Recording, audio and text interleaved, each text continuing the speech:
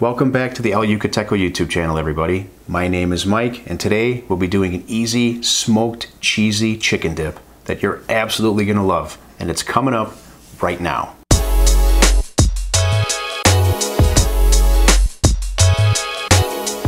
Welcome back to the channel once again. We really appreciate having you here. And if you haven't subscribed yet, we would really appreciate you hitting that button down there and clicking the bell to get notifications anytime we release new content.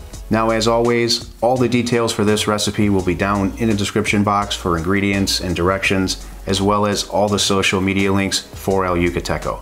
Now, without any further ado, let's get right into this recipe. For starters for this recipe, you're gonna need some pulled and chopped rotisserie chicken or any pre-cooked chicken will be fine. You can do it on the grill, you can do it in the oven, whatever works best for you.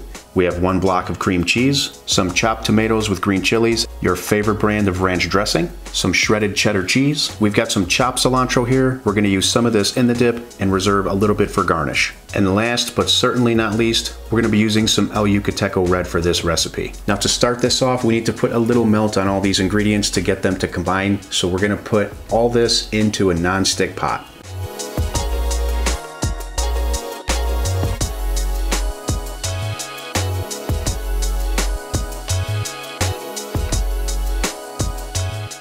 And now my favorite ingredient. Our sauces are great condiments, but they also go great as ingredients in dishes just like this. Now we'll get this on the stove just for a few minutes to get everything melted down. Then it'll be time to transfer it to a baking dish and out to the smoker it goes. I'll be smoking this today at a temperature of about 275 degrees Fahrenheit and we're just gonna let it go until we get some nice bubbling around the edges. Now let's get this onto the stove to get everything melted and combined. The smell is already incredible. By the way, I did go ahead and spray this baking dish with some nonstick before I transferred the dip into it. It is now time to get this outside onto the smoker. I've got my smoker preheated to about 275 degrees Fahrenheit and we'll be putting this on for about an hour to get some good smoke, some bubbling around the edges, and then we'll garnish it and give it a taste test. Now I'm warning you, it is very cold. We've had a lot of snow and ice out here lately, so make sure you get bundled up. Let's get outside to the smoker.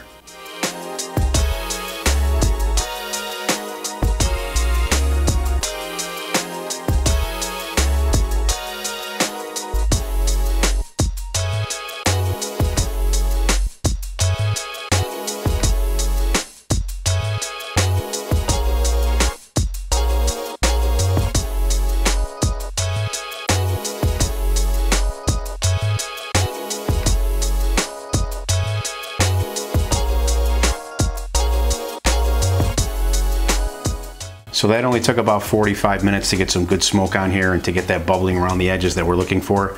We're back inside where it's warm, which is nice, but it's gonna get even better because we're about to do a taste test. Just look at how beautiful that is. Now I like to serve my dips with rounds because it's easier to scoop. Cheers everybody. Mmm. It's creamy, it's cheesy, it's savory, it's delicious, and that El Yucateco Red really added a lot to this dish.